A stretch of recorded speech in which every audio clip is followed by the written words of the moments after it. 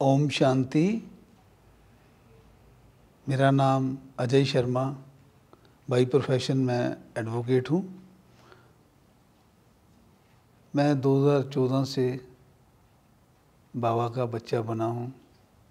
और जब से बना हूँ, तब से बात ही अलग है।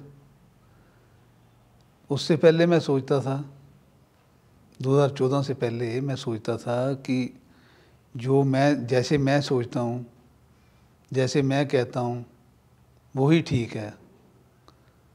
लेकिन बाबा का बच्चा बनने के बाद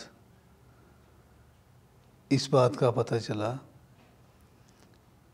कि हर एक अपने अपने संस्कारों से, हर एक के अपने अपने संस्कार हैं और हर एक के अपने अपने विचार हैं।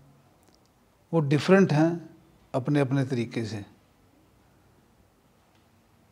बाकी संस्कारों में परिवर्तन के लिए बाबा की ग्रेस से ही संस्कार परिवर्तित होते हैं। और बाबा के ज्ञान में आने के बाद आप अपने जो संस्कार अच्छे नहीं थे, नहीं होंगे, उनको आप चेंज कर सकते हो। बाकी जो व्यक्ति, जो बाबा का बच्चा जितना सच्चा होगा जितना वफादार होगा उतना ही उसको बाबा की ग्रेस होगी। ओम शांति।